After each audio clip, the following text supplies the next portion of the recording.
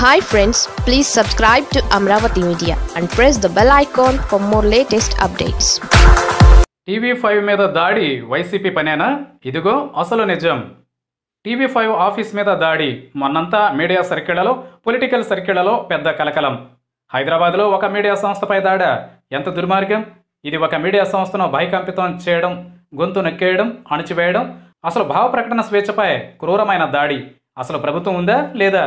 ఇలాంటి ఖండన ప్రకటనలు వెల్లువెత్తాయి. నిజానికి ఈ దాడి చేసింది ఎవరు? ఇది కదా ప్రశ్న. అసలు చేసింది ఎవడో తెలియదు. ఎందుకు చేశారో తెలియదు. చంద్రబాబు తీవ్రాతి తీవ్రంగా ఖండించాడు. లోకేష్ ట్వీటాడు. వైసీపీ ప్రతిపక్షాలన్నీ విరుచుకుపడ్డాయి. ఎందుకు? TV five Telugu Desam voice. ఈ మధ్య జగన్ మీద రెచ్చిపోయి నానా కథనాలు చేస్తోంది. కాబట్టి ఎవరో వైసీపీ వాళ్ళే ఈ దాడికి పాల్పడ్డారని జగన్ చేయించాడని దీని వెనుక కుట్ర ఉందని నానా రకాల అభిప్రాయాలను వ్యాప్తి చేశాయి టీడీపీ శ్రేణులు. టీవీ ఫైవ్ మీద దాడి కాబట్టి ఏమో వైసీపీ వాళ్ళే చేసి ఉంటారులే అని జనం కూడా నమ్మేలా. పోనీ తెలుగుదేశం శ్రేణులు ఉలిక్కిపడ్డాయి. దొరికింది కదా ఛాన్స్ అనుకుని.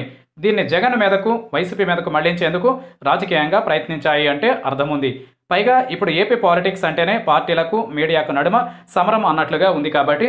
మరి ఏం తెలుసుకోకుండా జర్నలిస్టు సంఘాలు కూడా ఎందుకంత తీవ్రంగా స్పందించాయి? నిజంగా అది మీడియా మీద దాడేనా? అలా దాడి చేయాలని అనుకునే వాళ్ళైతే సెక్యూరిటీ రూమ్ పైకి ఓ రాయి విసిరి వెళ్ళిపోతారా? సరే టీవీ ఫైవ్ కూడా దాన్ని రచ్చ చేయడానికి బాగా ప్రయత్నం చేసింది. ఒక రాయి ఒక అద్దం కావచ్చు. కానీ దాడి దాడే కదా.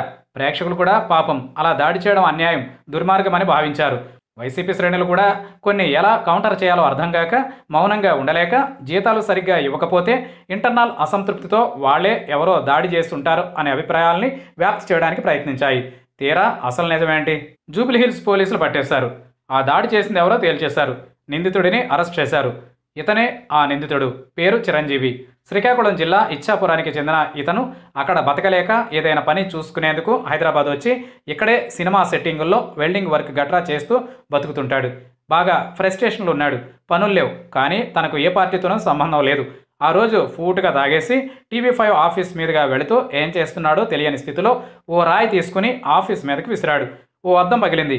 అది కూడా సాయంత్రం ఐదు గంటల ప్రాంతంలో చేస్తే టీవీ ఫైవ్ వాళ్ళు ఎప్పుడో రాత్రి పదిన్నర మధ్యలో పోలీస్ ఫిర్యాదు చేయడం మరో విశేషం. టీవీ ఫైవ్ ఆఫీస్ మీద దాడి జరిగింది అనగానే మరీ అంతగా తెలుగుదేశం గొంతుగా మారిపోతే ఎవడో కోపంతో దాడి చేసి ఉంటాడులే మరి మూర్తి సాంబశివరావుల డిబేట్లతో చిరాకెత్తి బహుశా ఈ దాడి చేసి ఉంటాడులే అనుకున్న వాళ్ళు బోలెడు మంది.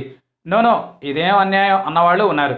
కొందరైతే జగన్ కేసీఆర్ దోస్తులు కాబట్టి టీవీ ఫైవ్ మీద వైసీపీ వాళ్ళు దాడి చేస్తే కేసీఆర్ అందుకే పట్టించుకోవడం లేదు. చూసారా అన్నట్లుగా మాట్లాడిన వాళ్ళు ఉన్నారు. తీరా జరిగింది ఇది. తేలిపోయింది ఇది. నోనో పోలీసులు ఏదో దాస్తున్నారని కొత్త పాట మొదలు పెడతారేమో ఇప్పుడు.